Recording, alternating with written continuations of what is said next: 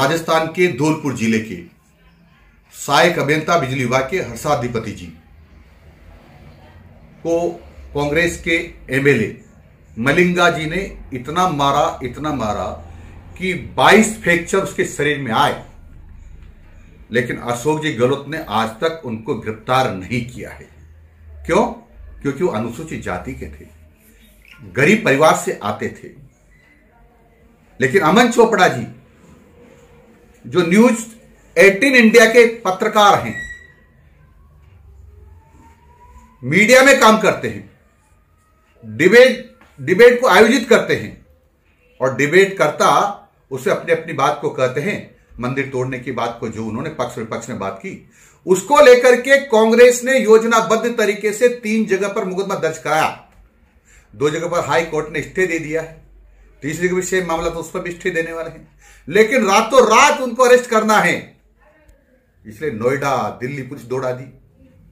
और अनेक जगह पर छापे मारे जा रहे हैं। क्यों भाई? आप तो स्वतंत्रता चाहते हैं ना मीडिया की। आप तो कहते हैं ना कि भारत की सरकार, केंद्र सरकार और मीडिया के साथ जाति कर रही है। उनको अभिव्यक्ति की आज़ादी छीन रही है। अरे आप क्या कर रहे हैं? शर्म नहीं आते आप लोगों को। मीडिया के दुश्मन क्यों बन रहे हो? उनको स्वतंत्र रूप से काम करने दो। ये सरकार की जो दोगली नीति है ना, इसको समाप्त करो। ये ठीक नहीं है। नहीं तो अशोक जी गलत साहब।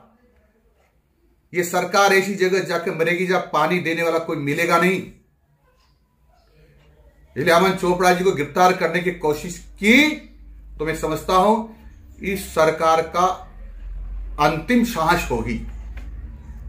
इसलिए भूल जाओ। अमन जी चोपड़ा को गिरफ़्तार करना। अमन जी चोपड़ा को गिरफ़्तार करने का अर्थ यह है कि आप सारी की सारी मीडिया के ऊपर हमला कर रहे हो।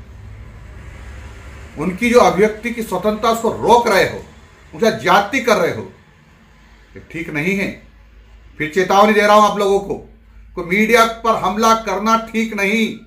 मीडिया को अनावश्यक रूप से गिरफ़्तार करना ठीक नहीं। अरे गिरफ़्तार करना तो राजगढ़ में मंदिर तोड़ने वालों को करो। गिरफ़्तार करना है आ, तो मुख बधिर महिला के साथ सामूहिक बलात्कार किया लोगों उनको गिरफ़्तार करो और गिरफ़्तार करना है। तो करौली के दंगे में जिन्होंने भड़काया, उनको गिरफ़्तार करो और गिरफ़्तार करना है। तो राजस्थान के मुख्यमंत्री अशोक जी गहलोत, जो आतंकवादियों के साथ उनके घर में बैठ करके भोजन करते, उनके हाथ जोड़ते, उनकी चमचागिरी करते हैं, ऐसे मुख्यमंत्री को भी गिरफ़्तार करो। काल रात्रि है कल्याणी, तेरा जोड़ धरा पर कोई नहीं, मेरी माँ के बराबर कोई नहीं। तेरी ममता से जो गहरा हो।